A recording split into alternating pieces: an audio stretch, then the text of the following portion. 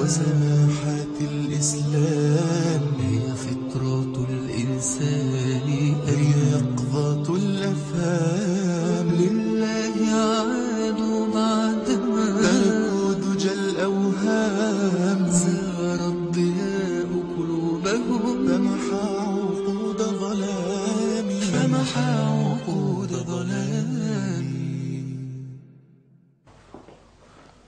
بسم الله الرحمن الرحيم الحمد لله رب العالمين وأصلي وأسلم على عبد الله ورسوله محمد وعلى آله وأصحابه أجمعين أما بعد أيها المشاهدون الكرام السلام عليكم ورحمة الله وبركاته أهلا ومرحبا بكم مع هذه الحلقة الجديدة التي ننقل لكم فيديوهاتها من قلب إفريقيا مشروع دعوة غير المسلمين إلى الإسلام مشروع مساعدة المسلمين إغاثة المسلمين إعطاء المحتاجين في تلك البلاد الفقيرة في تلك البلاد التي تعيش على الفطرة في القرى لا كهرباء ولا ماء.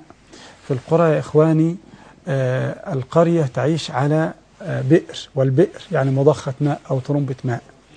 آه، هذا البئر يكفي قرية كلها بل حولها عدة قرى لا تمتلك هذا البئر. فالرجل يأتي ثلاثة كيلو يمتلئ يملأ آنيته ثم يرجع ليستعملها شربا واغتسالا وكذا طوال ال 24 ساعة وكل يوم بهذه الطريقة. فنحن نقوم بحفر هذه الآبار. البئر يكفي البئر هناك يكلف أربعة ألاف دولار. نحفر البئر لكي يخدم القرى وما حولها. والناس مجرد ما يحفر البئر بفضل الله تسلم وتدخل في الإسلام. ونحن الآن سوف نرى الآن آه هذا المشهد من دولة ملاوي وسوف تروا الواقع بأعينكم فتابعوا معنا هذا الفيديو لتروا الواقع بأعينكم. الرحمن الرحيم وأشهد أن لا إله إلا الله ولي الصالحين وأشهد أن نبينا وحبيبنا محمدا خاتم الأنبياء والمرسلين أما بعد. إن شاء الله اليوم سينتقل, سينتقل ال- الوفد أنا والشيخ أسامة إن شاء الله إلى آه، بعض القرى التي آه، كان بها أبيار معطلة وتم الاتفاق مع بعض المهندسين على إصلاح هذه الأبيار لأن هذه تعتبر مرحلة أولى. بعض الأبيار معطلة فنستطيع أن نصلح هذه الآبار قبل أن نبدأ في حفر أي آبار أخرى لأن هذا هذه الأعطال ربما تكون قليلة جدا وتكلف قليل من المال.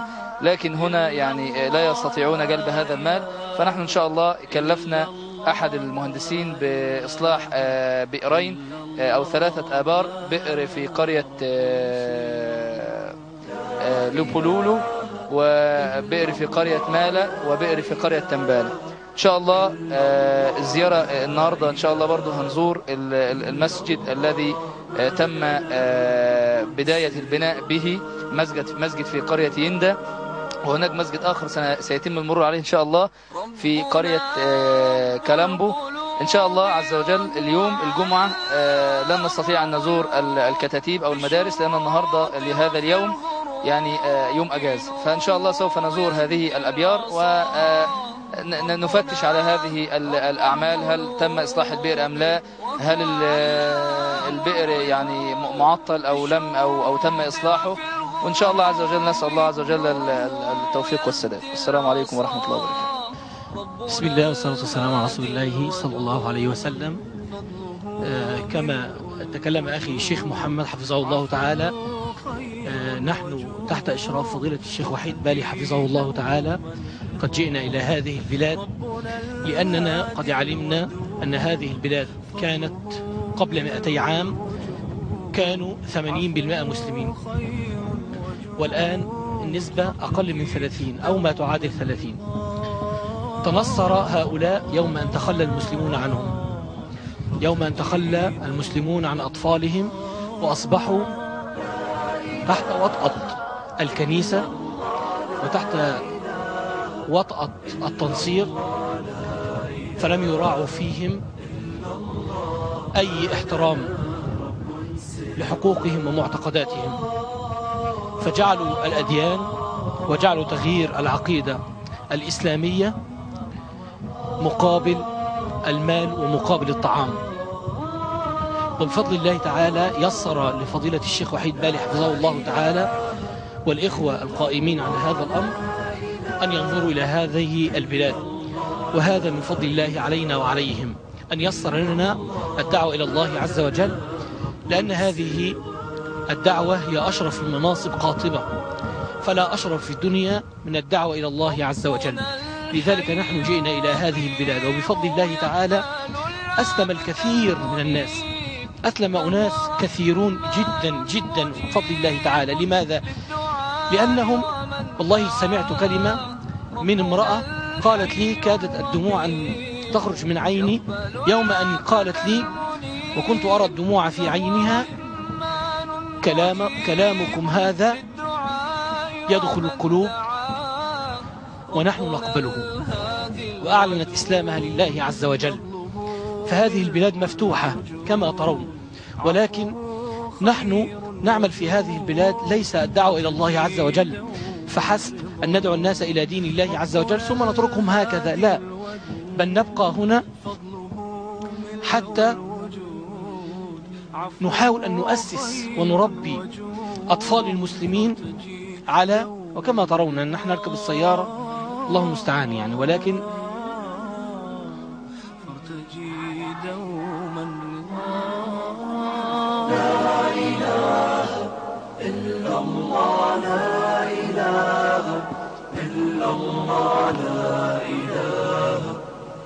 الله ما لنا رب سواه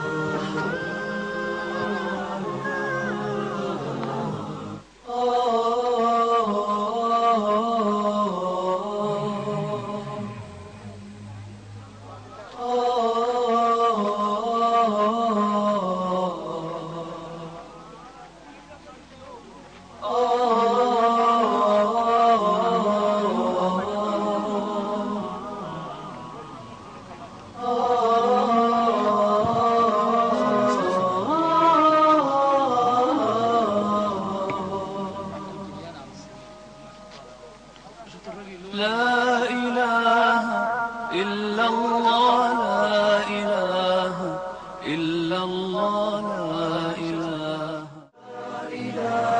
بسم الله والصلاة والسلام على رسول الله صلى الله عليه وسلم. للأسف هذه نفس قد تفلتت منا إلى النار. نعم. فهو قد مات على النصرانية. لذلك نحن في هذه البلاد. هؤلاء أناس كثيرون. والله لا يستغرقون منا الوقت. والله ليس إلا أن ندعوهم إلى الله عز وجل. فينقلبوا من النصرانية إلى الإسلام من الظلمات إلى النور. فنحن نحتاج الدعاء إلى هذه البلاد. من لإخوانكم هؤلاء إن ماتوا على الكفر إن ماتوا على النصرانية؟ لذلك نحن نريد أن ندعو الناس هؤلاء. والله الذي لا إله إلا هو. ما هي إلا أن تعرض عليهم الإسلام حتى يقبلوا به. فأنا والله الذي لا إله إلا هو كأني أشعر بالحسرة على موت هذه النفس التي لطالما اشتاقت القلوب إلى أن نتكلم ونهديهم إلى الإسلام. لذلك أقول للإخوة الدعاء الله الله في إخوانكم. الله الله في المسلمين هنا. الله الله في الناس. البلاد مفتوحة والدعوة مفتوحة هنا. تحتاج إلى من يدعوهم إلى دين الله عز وجل بالحكمة والموعظة الحسنة. والله دخولهم الإسلام إن شاء الله سهل وميسر وهذا بفضل الله تعالى. فنسأل الله عز وجل أن تلامس هذه الكلمات قلوب الدعاء إلى الله عز وجل حتى يأتوا إلى هذه البلاد لدعوة هؤلاء النصارى إلى الإسلام. فوالله هم إن شاء الله تعالى نحسبهم أنهم سرعان ما يعودون إلى فطرتهم إلى الإسلام إذا دعوا إليه. أسأل الله عز وجل أن يفتح علينا وأسأل الله عز وجل أن يفتح بنا هذه البلاد. جزاكم الله خيرا.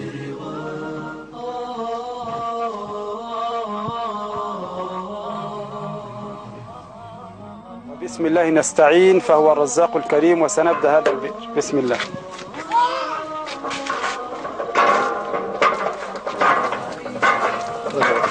الله أكبر الله أكبر.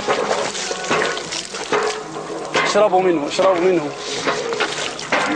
إنه جميل. عذب جميل. ما شاء الله.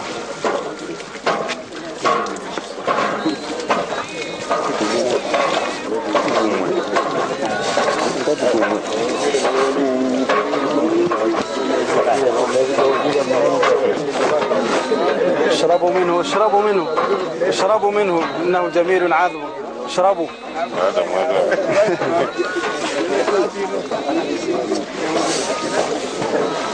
لا سيبني أسجد على الأرض. هكذا؟ طيب القبلة هكذا؟ هكذا. قل لهم سنجد سنسجد سجدة شكر لله على هذا الماء الذي رزقنا الله إياه. Awulira gwesankuba efansi ndikyolinga kyomusogoza mulungu amazzi amene mulungu oyo wadde ku bisiraawo kwaife الله أكبر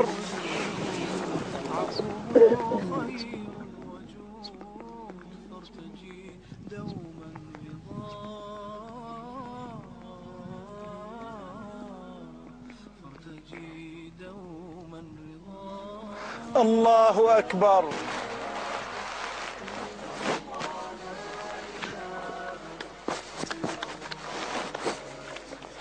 هنيئا لكم هذا البئر. وأسأل الله تبارك أيها الأحباب الكرام وكان هذا أول بئر نفتتحه هناك في هذه الدولة. والآن بفضل الله آخر تقرير وصلني وصلني بفضل الله. افتتاح وتصليح ثلاثة وسبعين بئرا في ثلاثة وسبعين قرية. أخرجت الماء فعلا وبدأ الناس يشربون وبدأوا يشعرون بأن الإسلام قول وعمل وأن الإسلام يحسن إلى الناس جميعا وأن الإسلام لا يفرق في إحسانه بين المسلم وغير المسلم فيحبون الدين ويحبون الإسلام. أيها الإخوة الفضلاء هذا البئر الذي رأيتموه يكلف أربعة ألاف دولار تقريبا لكنه يسقي قرية بأكملها يشربون ويغتسلون ويتوضؤون من هذا البئر. وإذا كانت القرية نصرانية وحفرنا فيها هذا البئر لله تبارك وتعالى قلنا لهم اشربوا فإذا بهم يدخلون في دين الله أفواجا وتسلم القرية بأسرها بسبب بئر حفر فيها. فهنيئا لمن كان سببا في إسلام القرى هنيئا لمن كان سببا في أن يشرب الناس وأن يشربوا هذا الماء النقي الذي يخرج من باطن الأرض نقيا ذكيا طاهرا بفضل الله عذبا. وحبيبنا صلى الله عليه وسلم يقول في كل كبد رطبة أجر. أيها الأحباب من أراد أن يتواصل معنا في مشروع دعوة غير المسلمين في أفريقيا فليتواصل معنا على الرقم التالي صفر عشرة اثنين ثلاث أربعات أربعة وخمسين حداشر صفر عشرة اثنين ثلاث أربعات أربعة وخمسين حداشر وفي السعودية ودول الخليج صفر أربع خمسات أربعة أصفار ثمانية. صفر أربع خمسات أربعة أصفار ثمانية. آه نحن نقول لإخواننا المسلمين في كل مكان إن هناك من الناس من ينتظركم ينتظر النور الذي معكم.